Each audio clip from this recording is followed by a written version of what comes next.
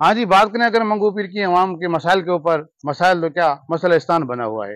گلیاں ٹوٹ پھوٹ کا شکار ہیں اور منگو پیر انتظامیہ کی لاپرواہی کی وجہ سے سیوریج کا گندا پانی گلیوں میں بہتا ہوا نظر آتا ہے۔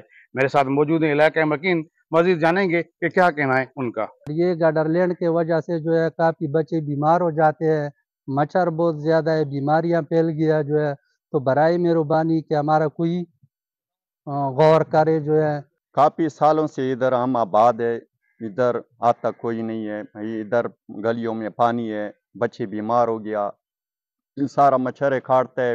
مچھر ہے بیماری بڑھ گئی ہے ان وجہ سے گیس وغیرہ نہیں ہے پریشانی ہے۔ آپ یہ کچھ دیکھ رہے ہو کہ کتنا پانی گھروں میں جا رہا ہے یہ ہمارے گھر ہے شہر میں رہ رہے ہیں۔ ایسا تھوڑے ہوتا ہے کہ یہ بیماری یہ بہت ادھر مسئلے ہو رہے ہیں پانی کی گرمی کی وجہ سے۔ یہ گلزار آباد اللہ بچائے گوٹ کی مین گلی ہے۔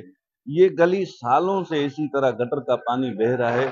ہم بول بول کے تھک گئے، لیکن ادھر بالکل کسی قسم، کسی بھی سیاسی نمائندے کی کوئی یہاں پہ توجہ نہیں ہے۔ یہاں پہ اسکول بھی ہے، مدرسہ بھی ہے، مسجد بھی ہے، لیکن یہاں کا حال یہ ہے کہ سال کے بارہ مہینے اسی طرح گٹر کا پانی بہتا رہتا ہے اور خود ہم اپنی مدد آپ کے تحت اس کی صفائی وغیرہ کرتے ہیں۔ ابھی حال ہی میں تین مہینے ہو گئے یہ پائپ اتارے ہوئے ان لوگوں نے۔ لیکن کوئی جو ہے یہاں پہ کسی قسم کا کام نہیں ہو رہا، صفائی آپ کے سامنے ہے اور یہ گٹر کا پانی اسی طریقے سے کافی مرتبہ بولا ہے، لیکن یہاں کے جو سیاسی نمائندے اس طرف کسی قسم کا کوئی توجہ نہیں دے رہے۔